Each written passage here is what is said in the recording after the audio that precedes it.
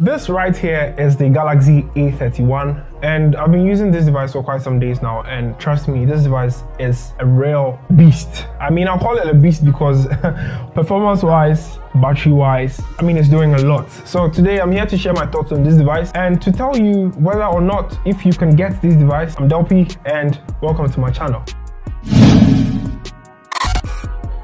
So smash the subscribe button if you haven't, leave a like on the video, share to other people who would want to purchase this Galaxy device and leave a comment about what you think about the device if you are using it as well.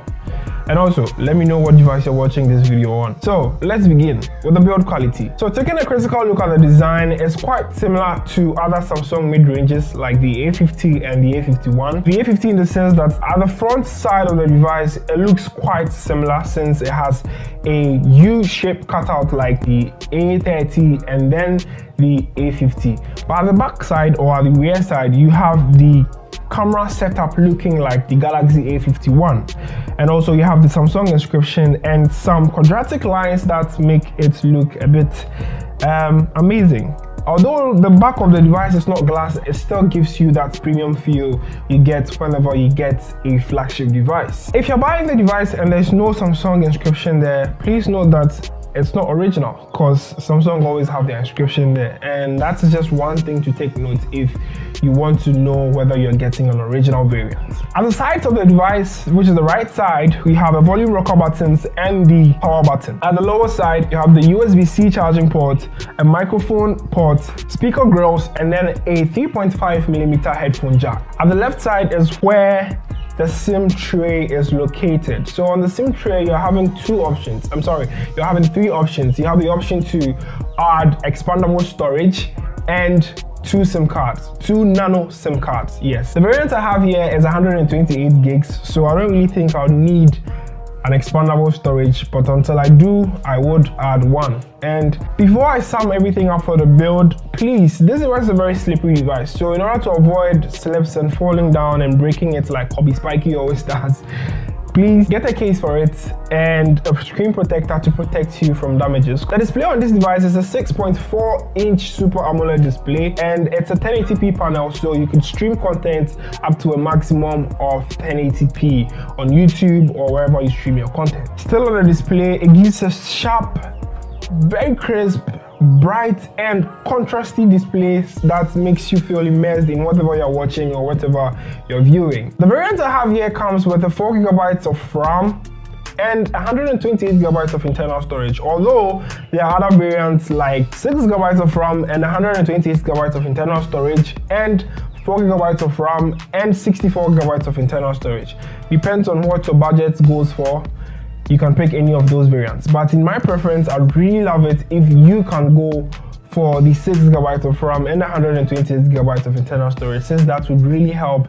in the field of performance. Talking about performance, this device really holds up in the arena of performance. I mean, I haven't really had a gaming test yet on this device as that would be a separate video so i'll be doing gaming test which will be a different one a really really separate one uh, but aside from that, apps run smoothly. Opening apps and surfing through the internet and everything runs smoothly. Although it's a 60 hertz panel, it really does very well. I mean, I'm very impressed with how smooth things are running. Maybe after a long time usage, I might have some lags, but I don't think that's going to be the case on here because really, really, I'm really, really impressed with how far things are going. Now, impressed in the sense that this is a MediaTek device, not a Snapdragon or Exynos device.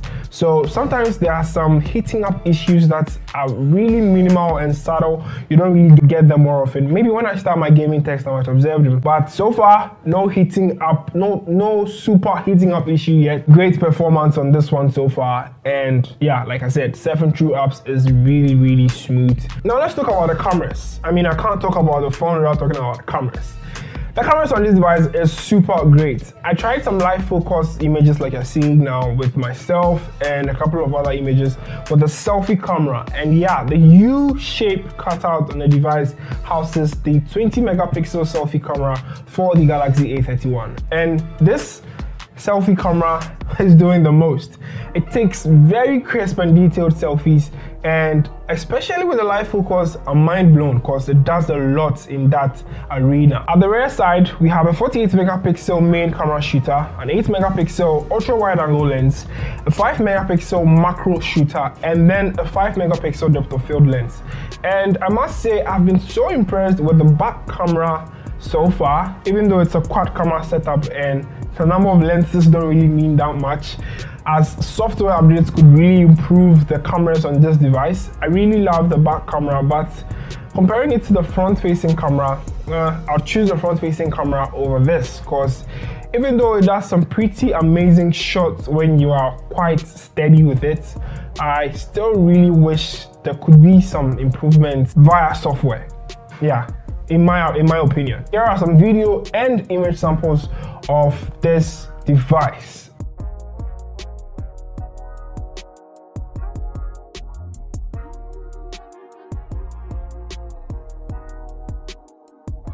So this is the video quality of the front facing camera and well I must say I'm actually impressed. Way better than the Huawei P30 Lite in my opinion. Especially with how it detects the edges and has more focus on the individual than whatever is behind it. And yeah, I think it's now blowing out my shirt a bit because my shirt is really white. Uh, okay, so let me know your thoughts in the comment section.